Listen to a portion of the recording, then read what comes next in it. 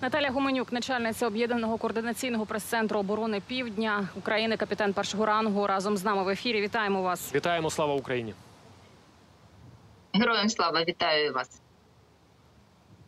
Пані Наталю, чуєте нас? Героям слава. Так, зараз чую. Вітаємо. Е, Отже, якщо говорити про наступ збройних сил України на Херсонщині, що ви можете розказати про бої та лінію фронту? На даний момент ми ще раз звертаємось до всіх і наголошуємо, що військова операція, яка триває, потребує режиму інформаційної тиші, і е, проголошуємо про те, що ми продовжуємо ведення бойових дій, позиційне ведення бойових дій, укріплюємо свої позиції і закріплюємось на тих ділянках, на яких ми є, е, намагаючись не дозволити ворогу е, підтягнути резерви. Саме про це ви і проголосили перед цим. Е, Це знищення логістичних центрів ворога, знищення транспортних артерій, перебиття їх і неможливість е, для транспортного використання. Це ураження командних пунктів е, за умови відсутності яких військо вороже деморалізується. Саме така робота зараз нами і проводиться. Військо вороже деморалізується. Пані, Така робота зараз нами і проводиться. так, пані Наталю, скажіть, будь ласка, от в умовах інформаційної тиші, про яку ви говорите, як зараз командування відслідковує, скажімо. Ту, ту інформацію, яку надають самі військові, вже яку потім перепощують різні ресурси, телеграм-канали, зокрема. Чи є певне покарання, чи дослуховуються наші військові стосовно е, цієї інформаційної тиші, рекомендації, е, і бо відео во- за ними можна за тими відео, які е, з'являються в інформаційному просторі, можна все ж таки е, зрозуміти е, певні координації або ж е, знаходження в тому чи іншому е, місці. Е, Так, звісно, е, ця війна має ознаки гібридної війни і відповідно має такий паралельний, е, паралельну реальність інформаційну, е, яка на, наразі не може бути повністю заблокована. Це умови сьогодення, це 21 сторіччя. Ми проводимо роботу з усіма військовими, звісно, і проголошуємо про те, що не можна робити ці е, стріми, не можна робити ці публікації, не можна вказувати геолокацію. І від цього всього в першу чергу страдають ті ж військові, самі підрозділи, які себе таким чином проявляють і е, можуть засвітитися перед ворожими е, підрозділами. Тому е, робота проводиться, але на жаль, все ж таки бажання, таке бажання хайпануть, воно присутнє і не тільки у простих бійців, а й у різного роду там експертів і журналістів, в тому числі які хочуть проголосити якнайперше інформацію, ту, яку ще не підтверджено військовим командуванням. Тому ми просимо е, ще раз утриматись від проголошення, зокрема і вивільнених пунктів е, населених, які ми ще не можемо е, гарантувати їх абсолютну безпеку. Пам'ятайте про те, що там знаходяться мирні жителі, які не винні в тому, що ворог першим дізнався від вас. Про те, що вони звільнені і може застосувати авіаційний або ракетний артилерійський удар.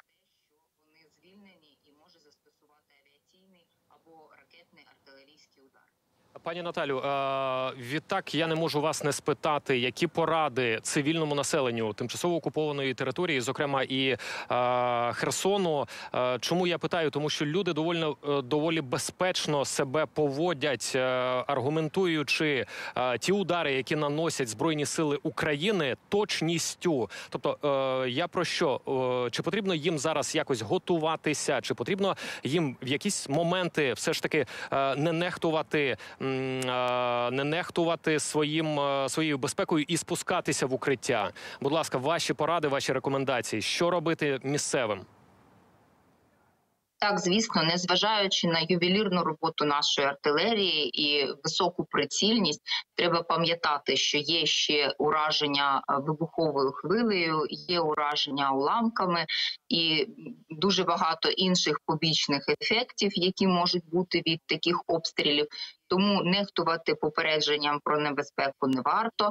Е, Обов'язково необхідно укриватися і, взагалі, мешканцям.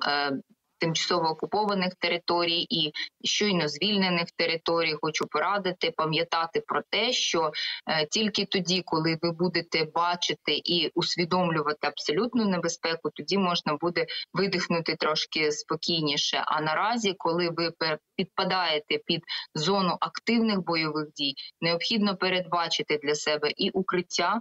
І запас води, і запас е, їжі, яка не псується, і запас медикаментів і предметів першої необхідності. Передбачити хоча б на 3-4 дні для того, щоб у вас в укритті було більш-менш е, облаштоване місце для проведення так, перечекання такого е, актив, активності нашої такої, для того, щоб потім ми могли разом відбудовувати і святкувати.